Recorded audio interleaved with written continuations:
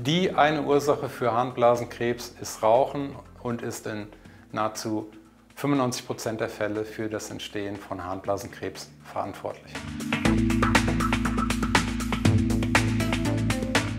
Das klassische Symptom von Blasenkrebs ist die Makrohämaturie.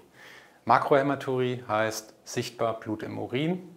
Das ist das Symptom, was den Patienten zum niedergelassenen Hausarzt und dann zum Urologen veranlasst. Harnblasenkrebs wird äh, in der Regel vom niedergelassenen Urologen mit Hilfe einer Blasenspiegelung ähm, diagnostiziert. Diese kann flexibel mit einem flexiblen Endoskop oder mit einem starren Endoskop durchgeführt werden.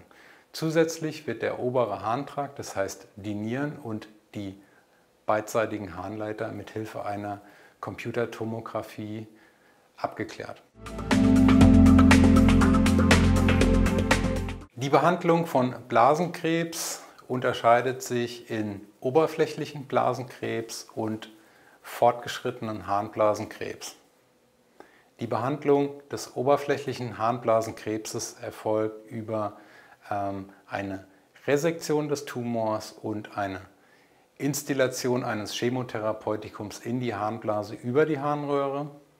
Das sogenannte muskelinvasive oder fortgeschrittene Harnblasenkarzinom muss in der Regel mit einer Operation und einer Chemotherapie, die davor oder danach durchgeführt wird, behandelt werden.